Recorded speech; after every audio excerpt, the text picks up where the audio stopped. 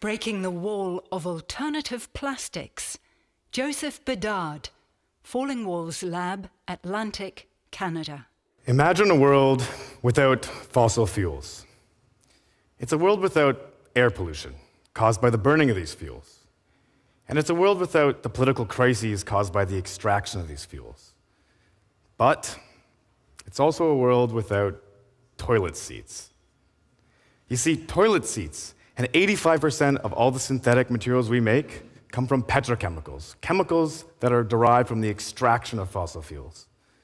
Now, of course, we need to divest from fossil fuels for a green future, but where are we going to get our materials building blocks? Where are we going to get our toilet seats? It turns out that nature has an elegant solution. Right now, trees are taking CO2 molecules from the air and converting that into a material, wood. But there's just not enough CO2 in the atmosphere for all of our materials needs. And we need to break the cycle of extracting and releasing and extracting carbon into our environment.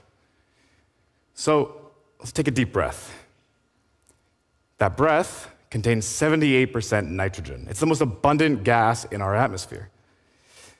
But the problem with using nitrogen, it just really doesn't want to become a material. In fact, when us crazy chemists try to do it, we tend to make things that explode.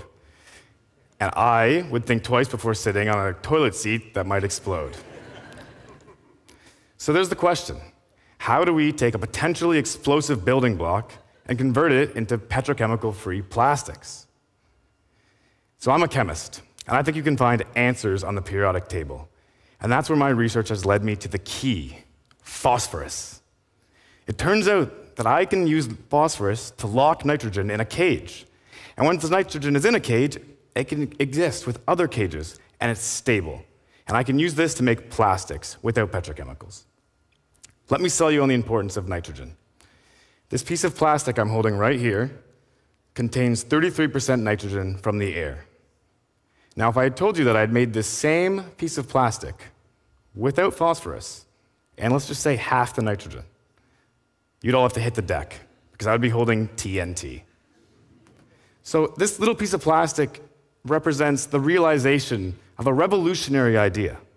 If we stop digging in the ground for our energy, it turns out we can decarbonize not just our energy, but our materials. And with the help of a little bit of phosphorus, make plastics out of thin air. Thank you.